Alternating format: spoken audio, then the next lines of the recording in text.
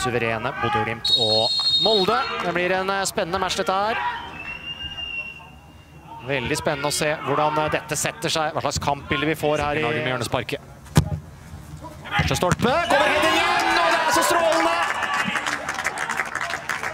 De skårer etter dødball også. Bodø-Glimt de har alle redskap. Ja, foran den eh, videre også. Petter Hauge. Sondre Brunstad Fett, se hvordan de fyller på. Kommer et skudd.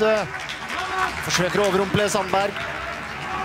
Får litt gunstig brudd. Her får en bra mulighet. Tøff takling av Bohinen. Ja. Mener han tar sånn posisjon. Prøver han seg på nytt her, Patrick Berg. Det gjør han. Og Sandberg er på den, men på returen er en Glimt-spiller først. Kasper Junker. Han fornekter seg ikke.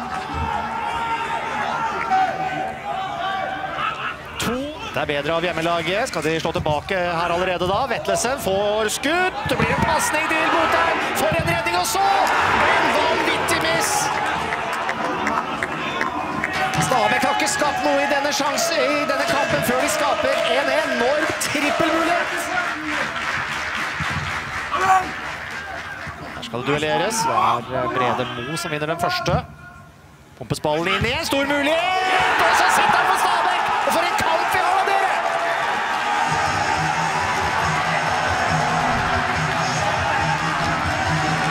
Hauge er raskere. Ja, Lumansa. Så blir det en ball fram til Sinkernagel. Han har med seg spillere motsatt. Og Sinkernagel på bakre! Og så er det godt gjort å ikke sette den i eget mål.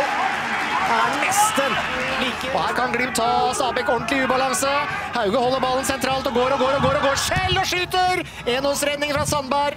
Og denne gangen er det en Stabæk-spiller. Så er høyrebekken Samsted på utsiden. Sinkernagel legger av til skudd her, og det er meget bra! Og treffer tverrligger. Et skikkelig.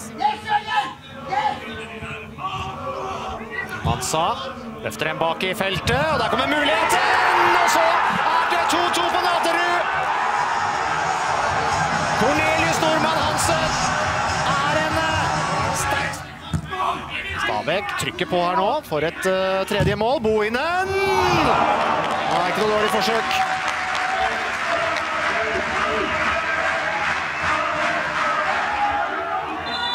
For der er det over på Nadderud. Bodø-Glimt er fortsatt ubeseiret i Eliteserien 2020, men Stabæk blir det første laget som tar poeng.